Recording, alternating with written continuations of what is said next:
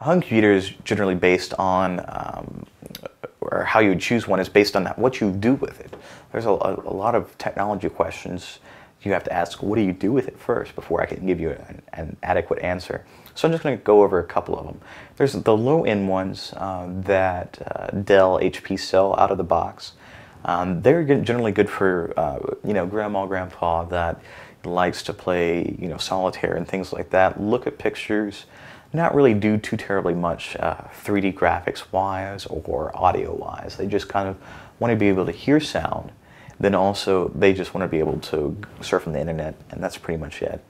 Uh, and then you have the kind of the mid-range one, which is uh, they generally have graphics cards and, and uh, mid-range graphics cards and mid-range uh, sound cards. So those uh, those kind of are targeted towards teenagers, college kids, and the, you'll you'll see those on the websites as uh, mid-range ones or entertainment targeted focused ones. Um, and then there are the high-end ones that uh, gaming and uh, gamers and, and uh, video editors and things like that that they would want. Um, and those generally range. Then you, you, at those at that level you would break the thousand dollar mark. So where we, how much do you want to spend? What do you want to do with it? Those are very um, uh, needed questions when you buy one. So let's let's take the mid-range one, so uh, you kind of have an idea.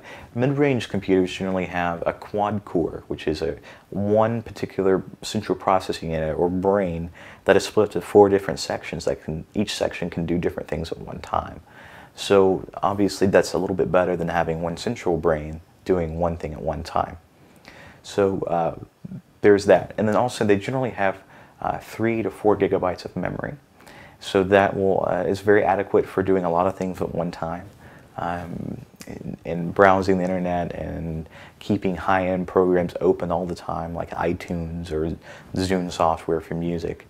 Um, and then also they'll have generally around 160 to 300 gigabytes of storage space. So that will uh, allow them to store a lot of things at one time. So how do you choose which one's right for you? Uh, well, very simply, if, if you uh, are a low-end user, you don't think you'll be using the computer that much with the exception of the internet and pictures and things like that, maybe doing taxes, um, something that's not so um, engaging uh, on a computer or taxing on a computer. Uh, so you, you'll probably want to go around the low-end models uh, and get a monitor that suits you, so 17 inch, 19 inch, something like that.